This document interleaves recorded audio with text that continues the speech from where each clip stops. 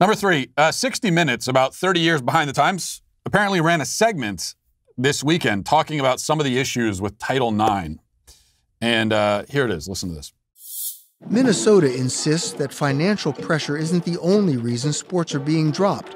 It also cites Title IX, the federal law that requires schools to match the gender makeup of their student bodies in their sports teams.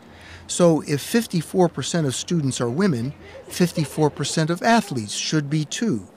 To get to that balance, schools often choose to cut men's sports rather than create new ones for women. Title IX is often the scapegoat when universities cut teams. Again, it's to protect the core business, which is football, but you can kind of use this gender justice shield to um, kind of throw men's non revenue sports under the bus. Football is often what gets universities in trouble with Title IX in the first place. Minnesota has 115 men on its football roster, which means it needs 115 female athletes just to balance that single sport. Yeah, like I said, about 30 years behind the times, but it's glad they're finally catching on. Um, of course, this is a this is a total travesty. I mean, it's completely ridiculous. You have 150 men on a sport means you have to have 150 women. Why? Why? Why? Sh- who says who? Well, I know who says it, but why? What's the reason? Yep. I'll tell you the real reason why there aren't as many women playing sports. It's just because, and not as many people interested in, in women. Not as many women want to play sports. A lot more men want to play sports. Also, uh, men are better at playing sports, most sports anyway. And so it's more fun to watch them. Why do more people watch men's basketball over women's basketball? Because men are better at it. And so it's just a lot more fun to watch. It's a lot more fun to watch basketball where people can touch the rim. That's the reality. Yeah, it, it, it might hurt your feelings. It might not. I don't care. It's just, it's just, it's just a simple reality. This idea that everything has to be equal. You know, I raise my kids. I mean, this is something, and every parent you go through this with my with my kids um, especially the twins. And, and, all kids do this. They're, they're constantly insisting that everything has to be equal. Oh, he, you, you, gave, he, he has uh, 16 Cheez Its in his bowl that you gave him, and I only have 13. I need three more Cheez Its. Well, with that, I'm impressed because that's good math, and then I might reward you for doing the math. But uh, in principle, the, the message from parents is not everything's going to be equal all the time. You got to get over. You got to grow up. That's that's not the way life works. Sometimes someone gets a little more Cheez than you do. That's life. Move on. So that, that's the message that, anyway, that competent parents or people who at least are trying to be competent parents, that's the message we give our kids. Then they go out into society and they're told, oh, no, no, everything has to be exactly the equal. You got 150 men playing a sport, you got to have 150 women. Equal, this idea of equality um, is one of the worst things that's happened to Western civilization. I'd put it that way. I'll tell you, equality exists really in two realms. Okay, equality exists as a as a sort of mathematical concept.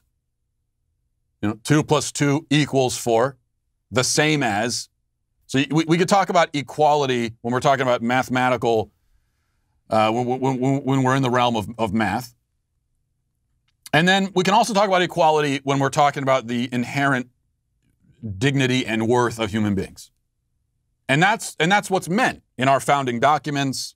When, found, when our founding fathers talked about equality, that's what they meant that all people have the same inherent worth.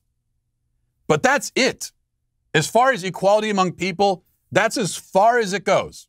You have the same inherent worth as anybody else. There, there's no one out there who's more of a person than you. That, that's what is meant by it.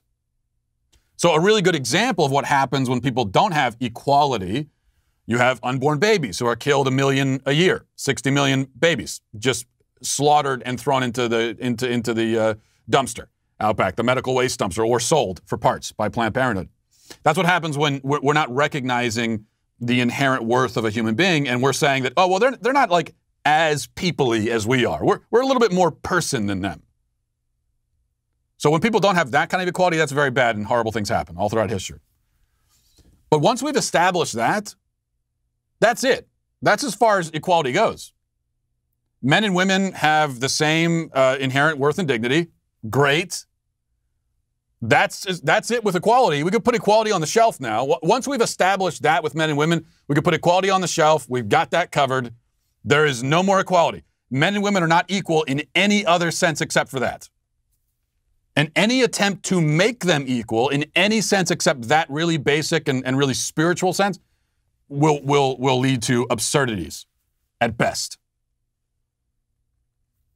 Because the reality is, whether, you know, man, woman, whatever, you, you sitting there watching this, me sitting right here, you know, as, as for me, every single, every person in this building right now, they are either smarter than me or dumber than me. They're stronger, they're weaker. Like, it, it's, we, are not equal in any way. For better or worse, from where I'm sitting. It's just the way it goes. You got to get used to it. Or apparently, you don't have to get used to it. That's the problem. You know, this is the, the, the this message that we give kids all the time. We've got society working against us because we're always telling kids, oh, you know, you, you get out into the real world and you just got to you got to deal with these things. But then the real world comes along and says, I don't know, they don't have to deal with it. We're, we're going to keep the delusion going. We want your kids to remain kids forever.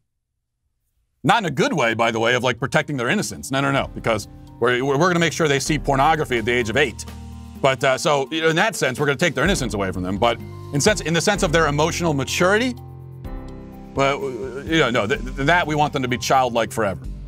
Well, I hope you enjoyed that clip from the Matt Walsh Show. If you did, go ahead and hit that subscribe button right down there so you can stay up to date on all of our future content.